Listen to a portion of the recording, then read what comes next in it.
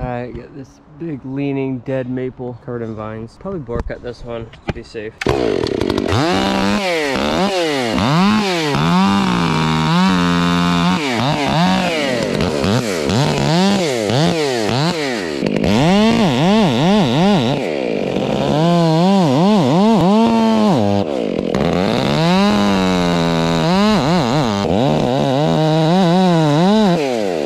My chain's dull, I dulled it on the last tree, but I just got one more, so I'd rather just deal with it than switch chains.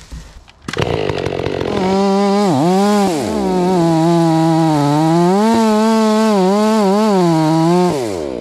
see I'm all the way through, but it's just amazing what the weight that can hold.